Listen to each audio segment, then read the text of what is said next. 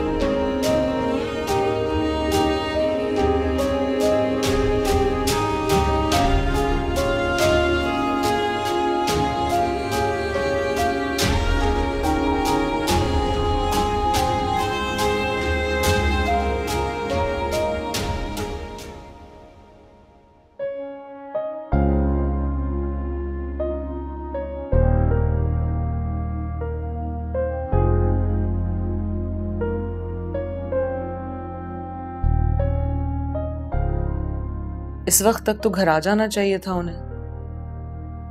घर में भी नहीं है तो कहाँ है? कॉल भी नहीं पिक कर रहे।